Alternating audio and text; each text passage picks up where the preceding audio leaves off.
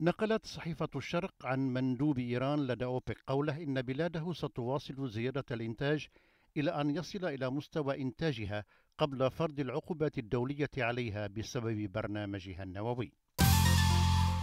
قالت وكالة موديز إن إصلاحات دعم الوقود في الخليج ستساهم في تخفيف الضغوط التي فرضها هبوط أسعار النفط على الماليات العامة، إلا أنها لن تكفي لتحقيق فائض في الموازنات الحكومية.